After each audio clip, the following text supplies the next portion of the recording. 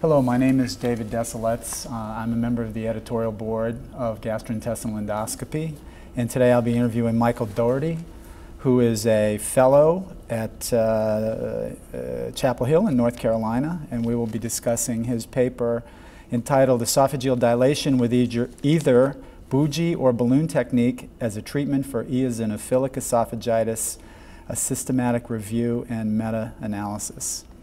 So Michael, I want to congratulate you on a great paper. First off, uh, the one take-home message that I got from this paper is that the perforation risk with eosinophilic esophagitis is really no greater than dilating for peptic strictures, for example. And it's always been dogma that eosinophilic esophagitis carries with it a high perforation risk. And those of us who do POEM, for example, and we tunnel down through the submucosa and we're used to looking at the circular muscle layer, when we see circular muscles after a dilation, I don't panic, but a lot of my colleagues do, and they say, oh, I've had a perforation, I went right into the muscle layer.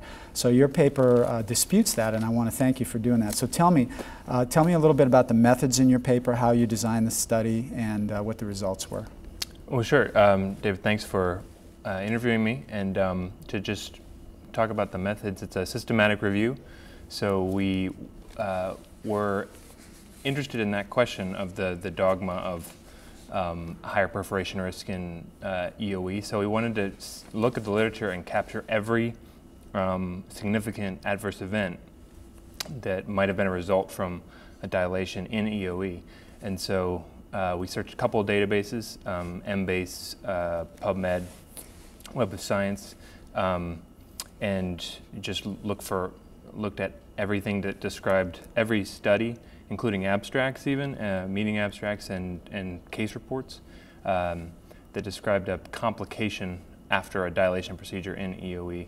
And then we had um, dual review of all of those abstracts and then all of the full texts to get a final list of, of includes um, that were appropriate. And we reported a, a number of complications, of perforations, GI hemorrhage, hospitalizations, and then uh, chest pain uh, of any sort um, to try to get as, as close as we could to a pooled estimate of what, what we would expect to be the risk of that procedure. I noticed that all the perforations uh, that you pulled out of the, uh, the literature were managed non-operatively. Is that correct? That's correct. So even when they did perforate, they all had a good outcome with non-operative management, which is another good thing to know. Absolutely. Most of the tables, you have a lot of tables in this paper, and most of them contain a statistic that I was not familiar with, and you call it the I squared statistic. Uh, I'm not a statistician, and I suspect you may not be, but can you explain to me a little bit about that, or am I digging a little too deeply there? Uh, well, I'll, I'll, do my best off, off the top of my head. I squared is, is a derivative of um, Cochrane's Q, I think was what was previous, previously used, and it's, it's basically a statistical um, way to quantify how, how different studies are from one from the other. So you can look at the, the paper at, at face value uh, as, the, as a reviewer and see um, and make a, a, clinical judgment, is this population similar to that population where the technique's the same and, and have an assessment of heterogeneity there. But also the statistical software can just look at the variance um, in, in the estimates from one paper and the other and give a, a statistical estimate of how different um, the effect is between studies. Okay. One, one p-value that I didn't see in your paper that I would be curious is, was there a difference, uh, and I think you, you may have quoted that there was no difference, but was there a difference in the perforation rate when balloons were used versus when bougies were used?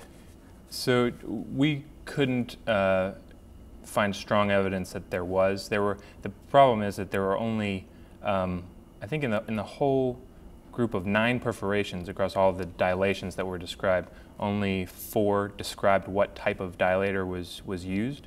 And so there were two mm. perforations in one and two in the other, and the denominator was bigger in the bougies, so it's a little lower risk. So you can't tell. Confidence really intervals are too overlapping, yeah. Okay. Well, that's really, uh, that's all I have as far as questions go, and uh, I, I, I want to thank you again for a great paper. And again, the take-home message here is perforation risk with EOE is not as high as we used to think, and, and very often they present with food impaction and they need to be dilated. And I'm not saying we should uh, cavalierly dilate them, but I mean, this paper tells us that it's safe to do so. Thank you. Thank you very much.